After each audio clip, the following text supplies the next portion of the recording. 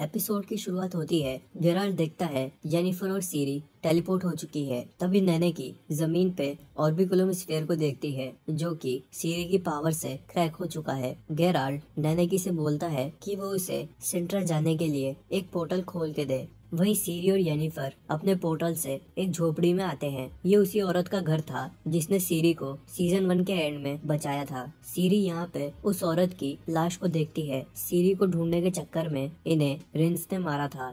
Jennifer चालाक होती है और वो सीरी को घुमाने लगती है ताकि वो सीरी को सेंट्रल ले जा सके। येनिफर कहती है केराल को ज़रूर रिंस के आदमियों ने किडनैप कर लिया होगा और वो उसे सेंट्रल लेकर गए होंगे तो हमें उसे बचाना होगा। सीरी गिराल को बचाने के खातिर मान जाती है। अब टीशिया विलफोर्ड के साथ होती है। ये दोनों आपस में प्यार करते थे। वहीं सेंट्रा में नीलगार्ड आर्मी का जनरल फ्रिंजिला से कहता है कि एल्फ की आर्मी वाले आज ट्रेनिंग करने नहीं आए। फ्रिंजिला कहती है, वो ज़रूर बच्चे के पैदा होने का जश्न मना रहे होंगे। ये जनरल बहुत ही बुरा आदमी होता है। यहाँ पे जनरल एक औरत को मार देता है। ये सोच के कि वो उन पे जासूसी कर रही थी, जबकि वो बेचारी वहाँ पे खाना ढूंढ रही थी। अब गेराल्ड पोर्टल बना के सेंट्रा पहुँचता है और जैसकीर को बचाता है। जैसकीर जेल में था और अपने पालतू चूहों के साथ गाना गा रहा होता है। जैसकीर गेराल्ड से गले मिलता है। वहीं पे फ्रिंजिला फ्रेंचेस्का के पास जाके शिकायत करती है कि उसके आदमी आज ट्रेनिंग पे नहीं आए। तभी फिलावेंडर बोलता है कि वो लोग निल्फगार्ड वालों के लिए बेकार में अपनी जान नहीं देंगे। और तभी फ्रेंचेस्का कहती है कि वादों से ज़्यादा फैमिली इम्पोर्टेंट होती है। उधर गेराट और जैसकीर एक जगह रुक के आराम कर रहे होते हैं। जैसकीर अपने कपड़े साफ़ करता है और बातों के दौरान गेराल्ड को बोलता है कि जेनिफर को सिपाहियों ने पकड़ लिया था और फिर वो एक मंत्र बोल के वहाँ से गायब हो गई। उस मंत्र में डेथलेस मदर का ज़िक्र हुआ था। ये सुन के गेराल्ड समझ जाता है कि जेनिफर डेथलेस मदर के साथ काम कर रही है और सीरी को सेक्रीफाइस करेगी। तभी गेराल्ट और जैसकीर यारपन नाम के एक डॉफ से मिलते हैं। यारपन और उसके आदमी गेराल्ट की मदद करने के लिए तैयार हो जाते हैं कि वो मिलके सीरी को ढूंढेंगे। येनिफर और सीरी एक नदी के पास आते हैं। यहाँ पे ब्रिज टूटा हुआ होता है और उन्हें नदी को पार करना होगा। येनिफर सीरी को एक मंत्र सिखाती है ताकि वो उस ब्रिज को सही कर दे। सीरी वो मंत्र ट्राई करती है, लेकिन उसकी आँखों से खून निकलने लगता है, तभी वो दोनों वहाँ से टेलीपोर्ट होके नदी के दूसरी ओर आ जाते हैं। जेनिफर सीरी से बहुत इम्प्रेस होती है।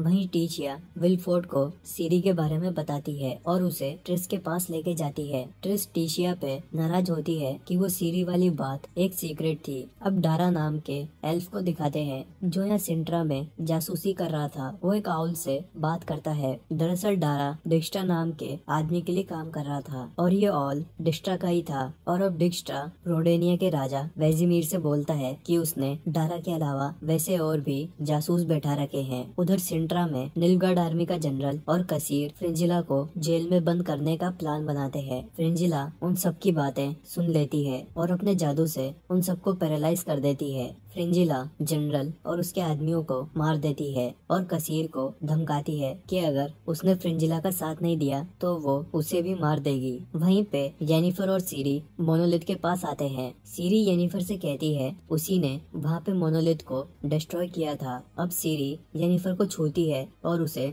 सारी सच्चाई पता चल जाती है कि जेनिफर अपनी ताकत खो चुकी है और उसे सेक्रीफाइस करेगी।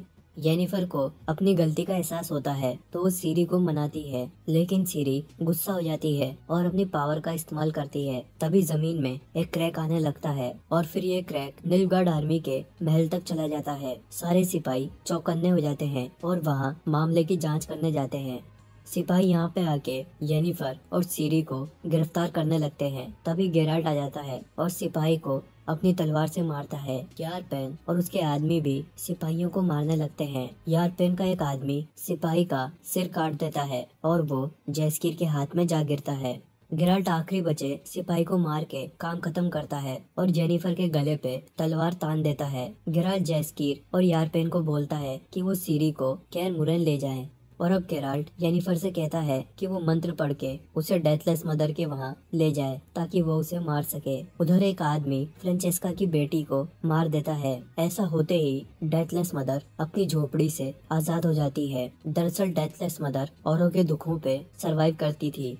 गेराल्ट और येनिफर, डेथलेस मदर के झोपड़ी के बाहर आते हैं। गेराल्ट देखता है, डेथलेस मदर राख में बदल के वहाँ से जा चुकी है। वो येनिफर को बताता है कि पुराने विचर्स ने डेथलेस मदर को इस झोपड़ी में कैद कर दिया था। और जैसा कि फ्रेंचेस्का की बेटी की डेथ हो गई थी, उसके दुखों से डेथलेस मदर को इतनी ताकत मिली कि वो झोपड़ी से आज़ाद हो गई। डेथलेस मदर राख में बदल चुकी होती है। वो सीरी की बॉडी में घुस जाती है और सीरी की आँखें चमकने लगती है। डेथलेस मदर ने सीरी की बॉडी को कंट्रोल कर लिया है।